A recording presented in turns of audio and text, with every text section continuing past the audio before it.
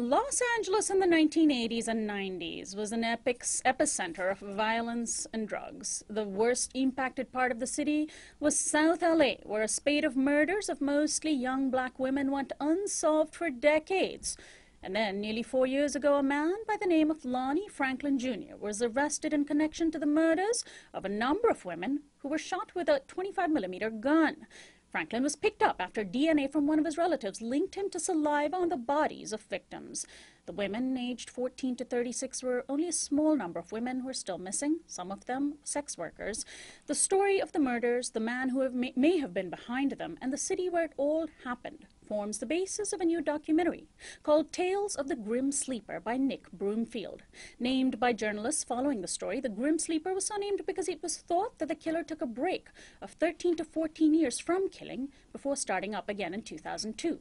Tales of the Grim Sleeper has been picked up by HBO Documentaries. It's been shortlisted for the Academy Awards Best Documentary nominations, and it opens on the big screen for a one-week run at the Laemmle Playhouse in Pasadena, Southern California through next Wednesday. Eventually will air on HBO. Joining me in studio today is Nick Broomfield, award-winning filmmaker. His earlier films include Aileen, Life and Death of a Serial Killer, and Sarah Palin, You Betcha. And Margaret Prescod, founder of the Black Coalition Fighting Back Serial Murders. She's also a familiar voice to our KPFK listeners. She's the host of Sojourner Truth, airing at 7 a.m. Uh, welcome to Uprising, Margaret and Nick.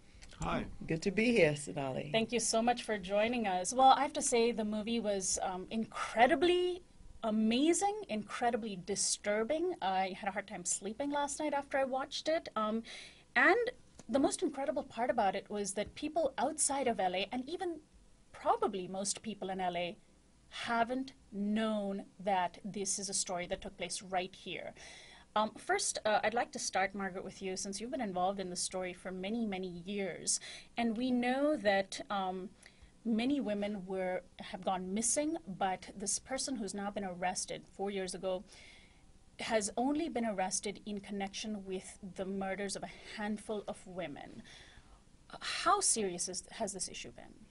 It's been very serious because I think anyone watching this program, listening to this program, would know and recognize very well that if it was one young white West Virginia student that goes missing, it's on the news every day, the whole world knows about it. But to have scores of black women in South LA to be killed, to be victims of a serial killer, and a lot of people in South LA don't even know about it, much less the broader Southern California area, much less the nation or the world. It's the kind of devaluation of uh, the lives of black women that we connect very much with the mass movement that's happening now on the street about Black Lives Matter. When I founded the Black Coalition in the mid 1980s, our theme was every life is of value, black women's lives count, right. black women's lives so matter. and there you go. Similar, right, uh, almost exactly the same theme. Yes. Uh, Nick, why did this story interest you and, and how did you determine how to go about approaching it? Because you essentially um, interviewed the uh, friends uh, of the person that people now believe is the Grim Sleeper, hmm. Lonnie Franklin. Well, Jr. I've lived in Los Angeles a long time. When I first came here in the 70s, uh, the the city actually was there was a lot more contact with South Central Los Angeles than today. Uh, there were much more federal funded programs. There, in fact, my mother-in-law had a medical center there. Uh, and there was a lot more toing and froing. I think the federal funding all got cut off, then the crack went in, and I think what we have now is two cities. We have the sort of white wealthy city, and you have South Central, and there's no communication between the two cities.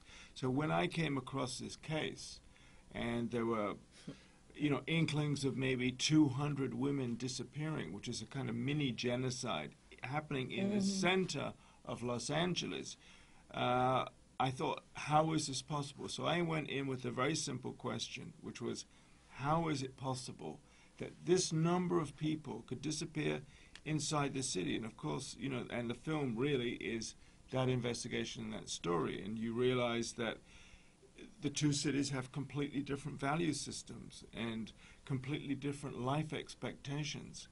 And that's really, I think, the most devastating thing about the film because it's only 15 miles from where I live in Santa Monica that this is happening.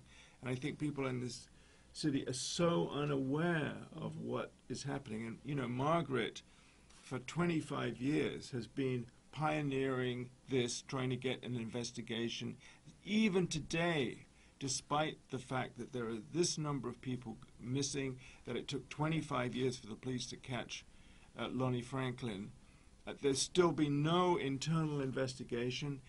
I mean, there should really be some kind of massive inquiry as to how this is possible to have happened. It's such a disgrace.